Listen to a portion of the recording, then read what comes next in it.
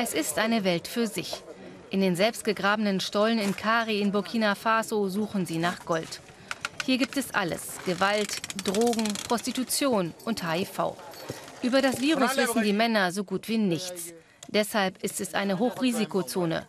Heute werden kostenlose HIV-Tests angeboten von Aktivisten der NGO Ref Plus.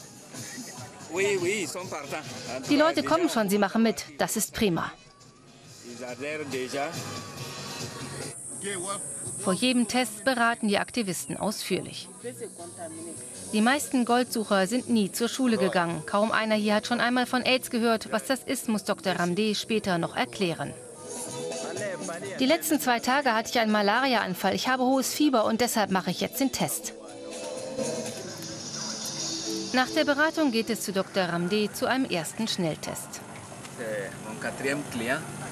Ein kleiner Stich nur und dann beginnt die quälende Zeit des Wartens auf das Ergebnis. 20 lange Minuten.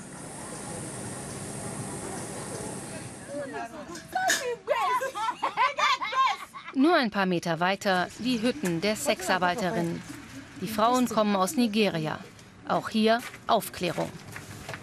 HIV wird durch Sex übertragen. Wenn eine Frau mit einem Mann schläft, die beiden kein Kondom benutzen und einer HIV-positiv ist, kann der andere es auch werden. Sie verkaufen ihre Körper für umgerechnet 3 Euro.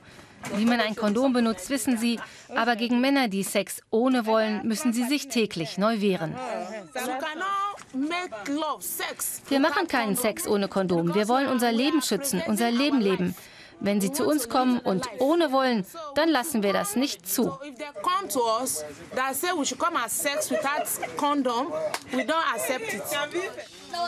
Die Männer haben Vorurteile. Sie glauben, dass ungeschützter Geschlechtsverkehr hilft, Gold zu finden.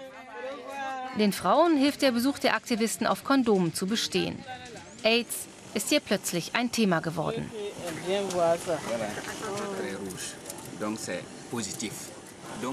Wir sind heute Morgen gekommen. Wir haben bislang 28 getestet und schon einen positiven Fall. Wenn wir 100 Leute testen, wie viele Fälle werden wir wohl dann am Ende haben? Viele Goldsucher wollen sich noch testen lassen. Die Aktivisten von Rev Plus werden bald wieder in die Mine von Kari kommen.